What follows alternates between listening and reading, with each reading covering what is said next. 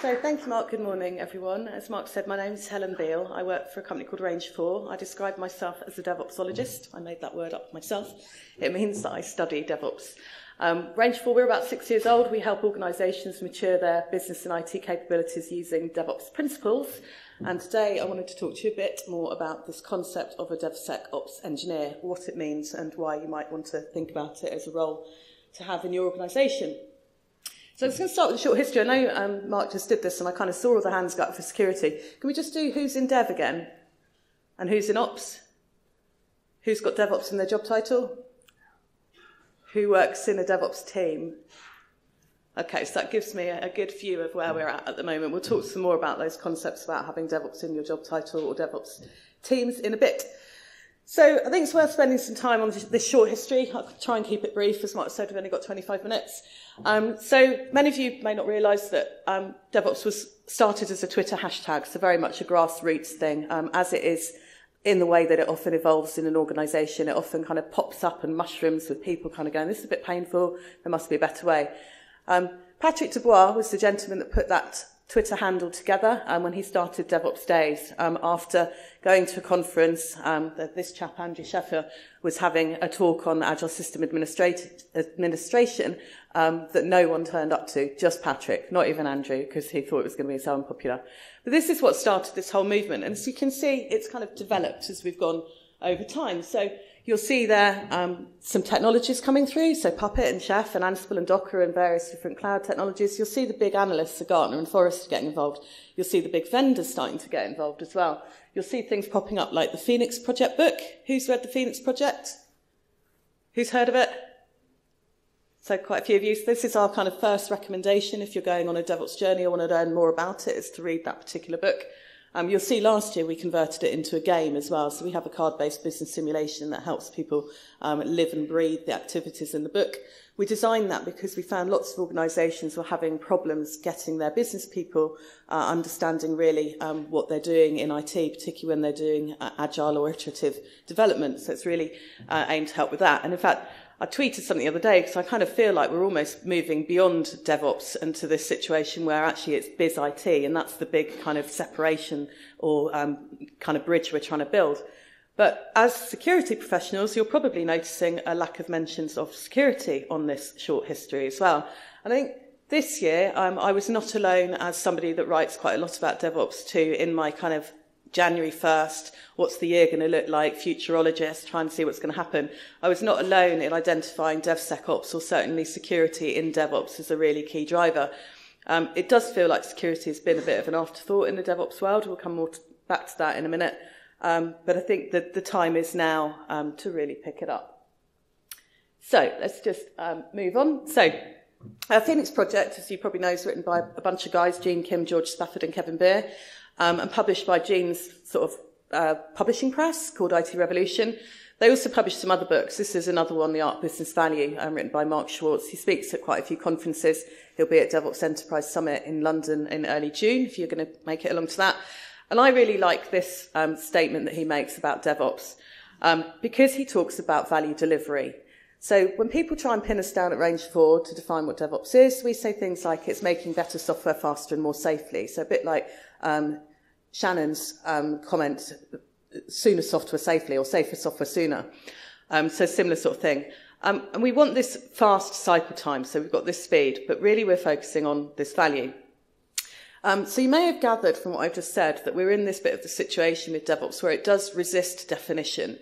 Um, it consciously resists definition. So kind of the protagonists of the movement um, didn't want to put an equivalent of the Agile Manifesto up there. They didn't want to write a massive ITIL document. They wanted it to be free as a bird, if you like, to fly and become what it needed to be. But there is a, an element of what we're always trying to do is in terms of trying to cage it a little bit, to try and um, try and pin down what it means in order to articulate it to people that are interested and help people harness it um, for something they can do for good in their own organisations. So, and you know, there is a definition on Wikipedia, and some people have had a go at putting a manifesto through. But if you think of DevOps as this kind of evolving thing, um, it's quite useful.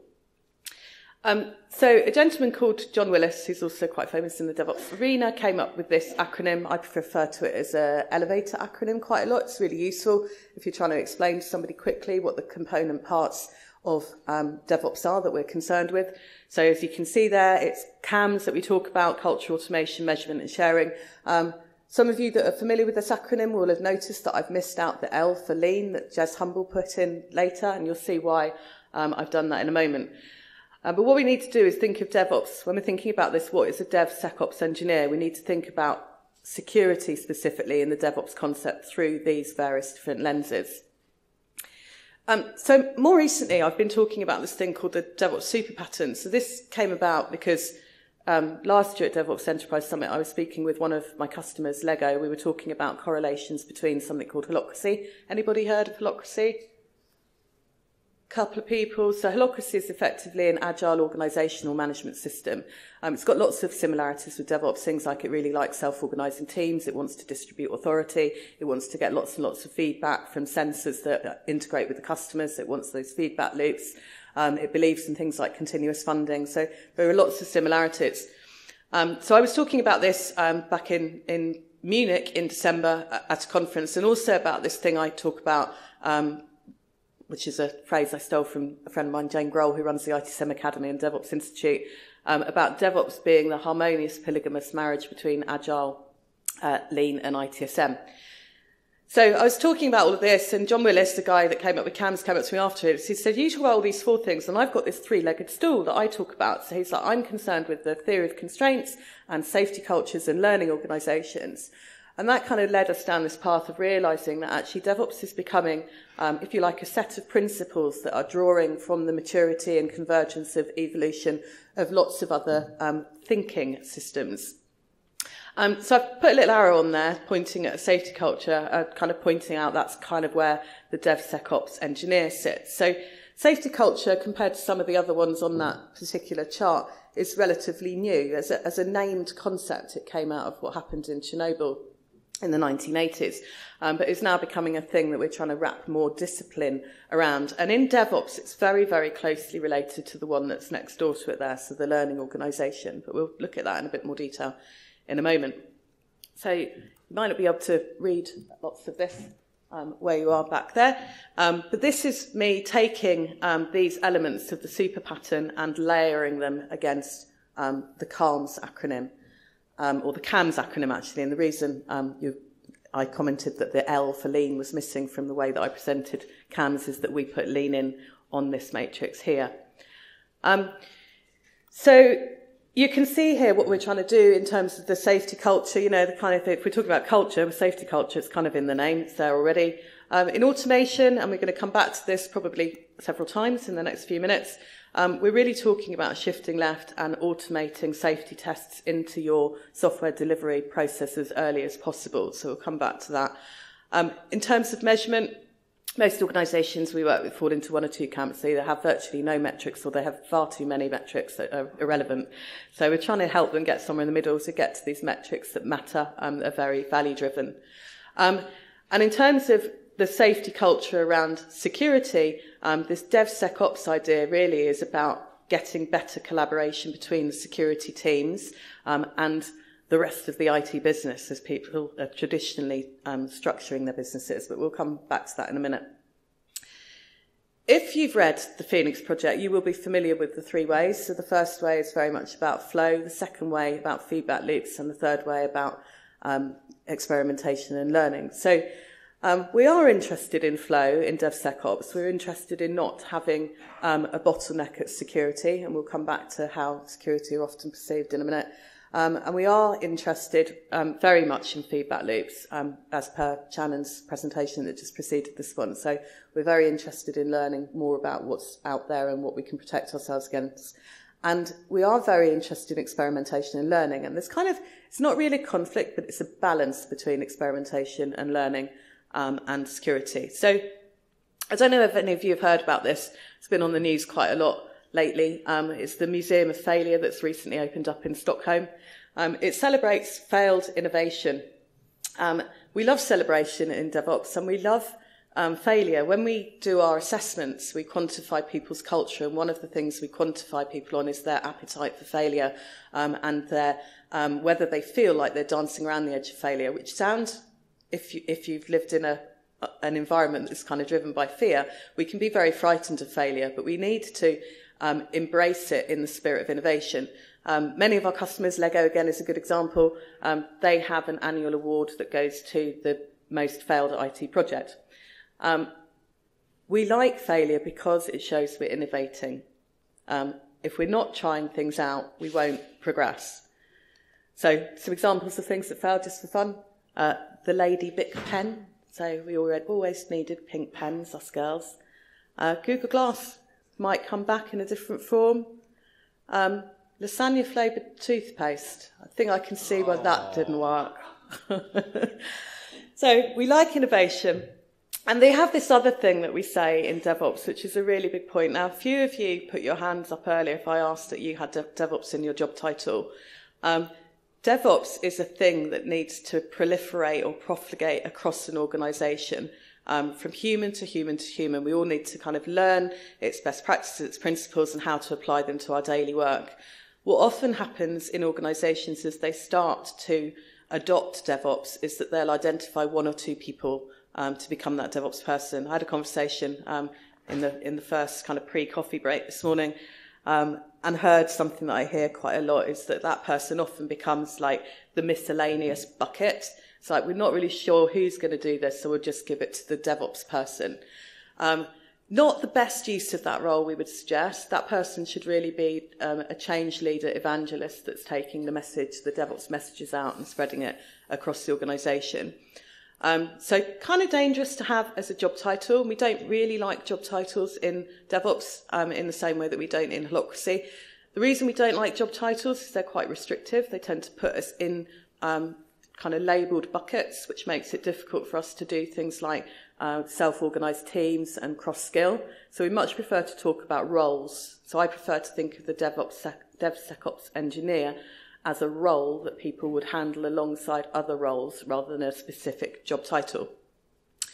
Um, just a quick word on teams as well. Lots of people um, stand up DevOps teams. Bit of an anti-pattern because you've just created another silo. It can cause some resentment in organisations. Why are they special?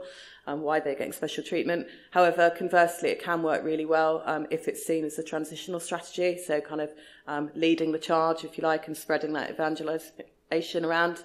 Um, what we have seen work better is actually where companies pull together something a bit less formal. So a DevOps steering committee, for example, um, often people will identify individuals to take on each of the CALMS roles, um, start running up product backlogs and epics around those roles and start moving things forward that way.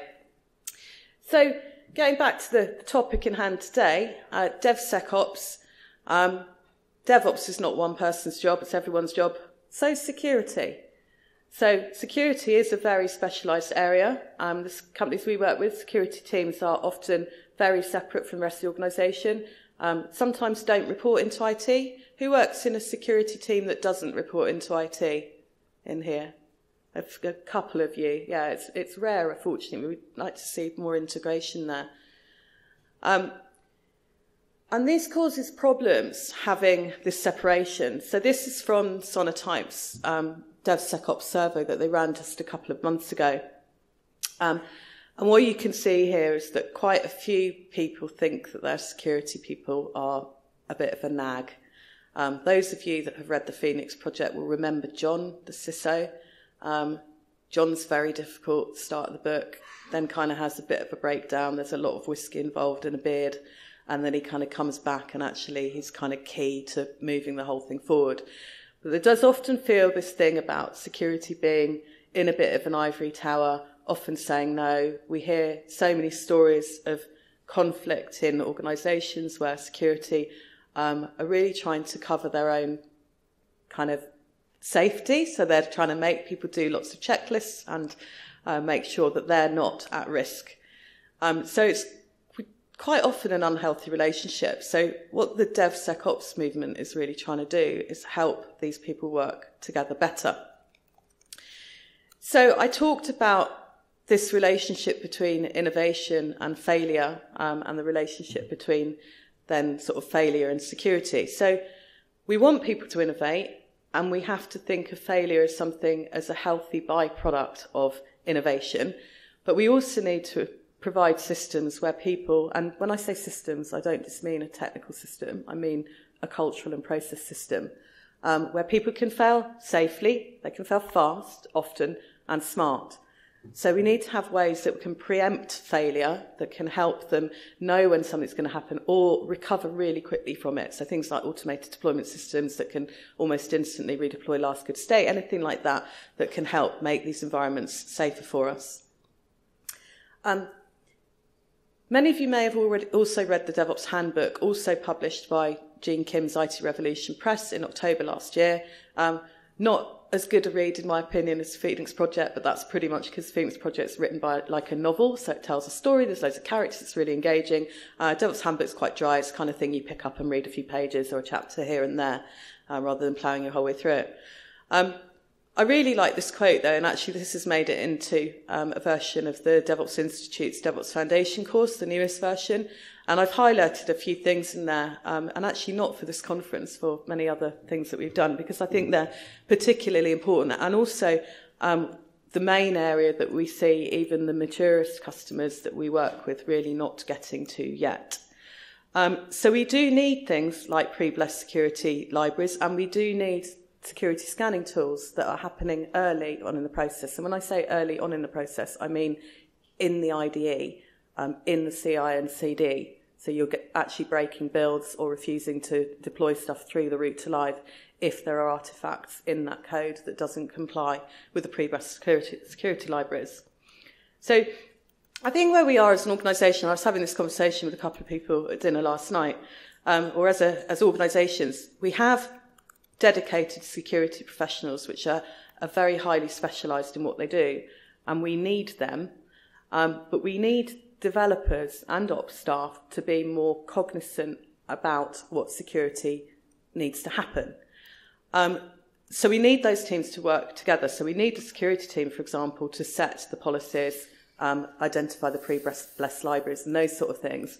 Um, but we need the developers to understand why that's happening, why those rules are made, and give them tools to help them develop things better. So there's the DevOps Handbook. As I said, written by Gene Kim, also um, co-authors of that were Jez Humble, the man that put the L into um, CALMS, and also um, John Willis, who I mentioned as the originator of CAMS, and also uh, Patrick Debois, the originator of it all.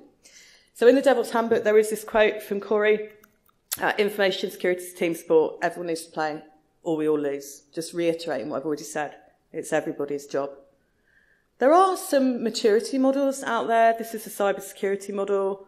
Um, we haven't got much more time, so I'm not going to go into it in more detail. It is in the slide pack that you'll be able to download. I'm not convinced how useful this is. I'm sort of working on some other maturity models myself at the moment.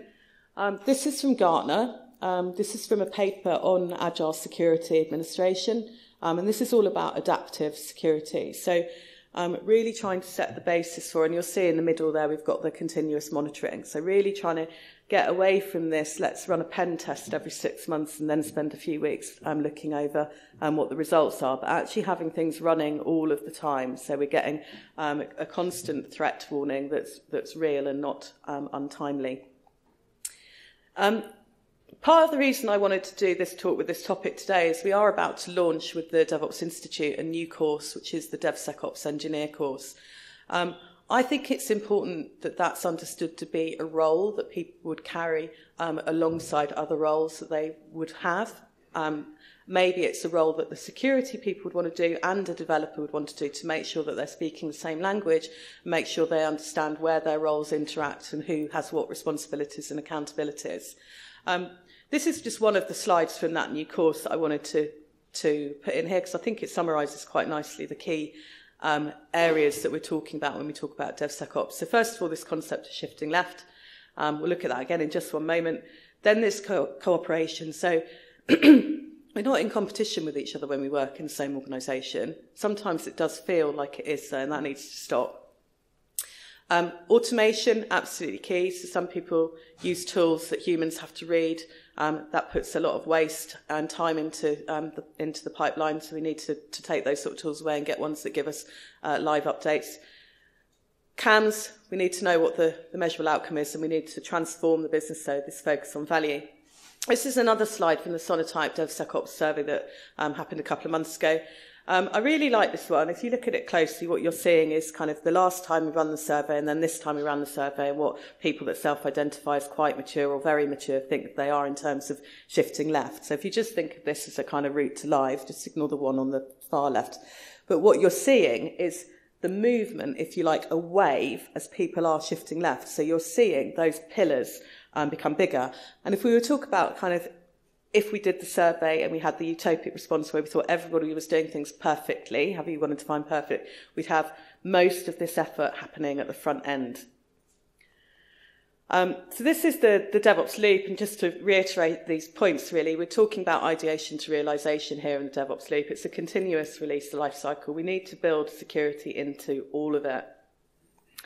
Um, this is a little bit of a joke, so um, this started from a, an article I posted on LinkedIn, and a gentleman called Magnus Hedemark um, started a bit of a chat with me about it. And we started talking about this kind of iron triangle thing that we've seen in IT for a long time, where there's been um, a, an assumption um, or a learned um, a learning perhaps that we can only have something that's low cost and high quality if it takes a very long time, or we can only have something high quality and low cost um, if it takes a very long time. So Um, what we're saying with DevOps really is that you can have it all. So we're calling it this golden square. So we're saying that actually with DevOps, you can deliver something that's really high quality, um, very fast and quite low cost. Um, and then we have this fourth element, um, which lots of people refer to as customer delight. Um, you call it happiness. Um, some people may be familiar with terms like hug ops and human ops, so really starting to talk about what our working lives look like on a day-to-day basis, whether we're facing burnout, whether things are really stressful, or whether we actually enjoy the work that we do. Um, and DevSecOps is very much part of, of all of that, so it's helping those teams work together. Um, so that is my presentation. So be DevOps-tastic. Um, thank you to the sponsors. Thank you to Helen, please. Thank you.